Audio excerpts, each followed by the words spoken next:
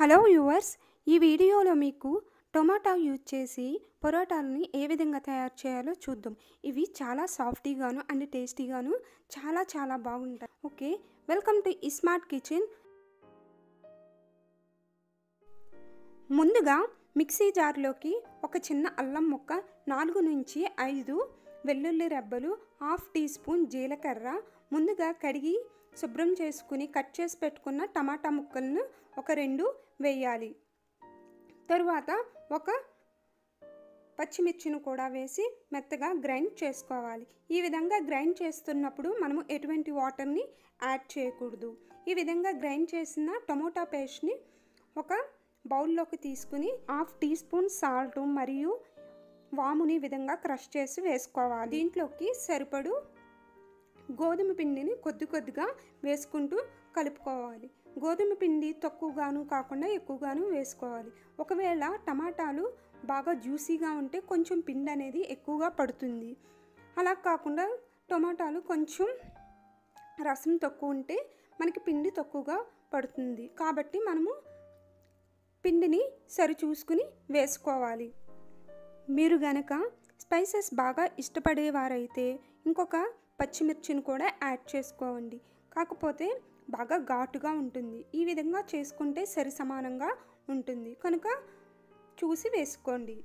ఈ విధంగా పిండిని కలుపుకున్న తరువాత ఒక రెండు టేబుల్ స్పూన్ల ఆయిల్ని అప్లై చేసి ఒక ఐదు నిమిషాల పాటు పక్కన ఉంచుకోవాలి. మీరు పిండిని ఎంత బాగా మద్దనా చేస్తే మనకి పరోటాలు అనేవి అంత స్మూత్గా వస్తాయి. కనుక పిండిని కలుపుకునేటప్పుడు చాలా జాగ్రత్తగా కలుపుకోవాలి. ఈ విధంగా మద్దన చేసుకుని మరొకసారి చిన్న చిన్న ఉండలుగా డివైడ్ చేసుకోవాలి. మీరు ఇక్కడ అబ్జర్వ్ చేసినట్లయితే నాకు పిండి చేతికి ఏమాత్రము అంటుకోవటం లేదు. ఎందుకంటే పలుచుగా లేదు. కనుక ఈ విధంగా కలుపుకోండి. ఈ విధంగా చేసిన మన ఉండల్ని చపాతీ కర్ర తీసుకుని ఈ విధంగా రోటీలను చేసుకోవాలి. మీరు రోటీలను చేసుకునేటప్పుడు మరీ దలసరిగాను కాకుండా పలుచుగాను కాకుండా చేసుకోండి. ఈ విధంగా అన్ని రోటీలను చేసుకున్న తర్వాత ప్యాన్ మీద మొదట ఎటువంటి ఆయిల్ అప్లై చేయకుండా రోస్ట్ చేసుకోవాలి.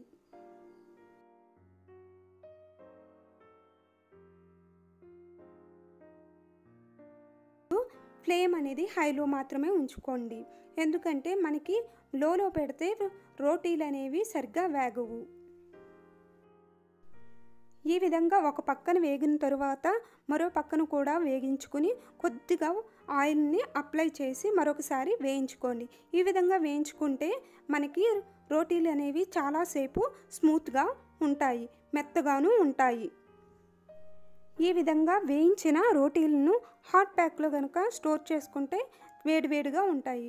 కనుక ఈ విధంగా వేపుకుని హాట్ ప్యాక్లో స్టోర్ చేసుకోండి. ఈ రోటీలను మీకు నచ్చిన కర్రీతో సర్వ్ చేసుకోవచ్చు. నేను ఇక్కడైతే పొటాటా విత్ పాలకూర కర్రీతో సర్వ్ చేసుకున్నాము. ఫ్రెండ్స్ మన ఛానల్ని మీరు ఇప్పటి వరకు సబ్స్క్రైబ్ చేసుకోకపోతే సబ్స్క్రైబ్ చేసుకోండి. అదేవిధంగా పక్కనే ఉన్న బెల్ ఐకాన్ని ప్రెస్ చేయండి. ఒకసారి ఈ టొమాటో పరోటాను టేస్ట్ చేసి ఏ విధంగా ఉన్నాయో కామెంట్ సెక్షన్లో కామెంట్ చేయండి. And please like and share. Thanks for watching.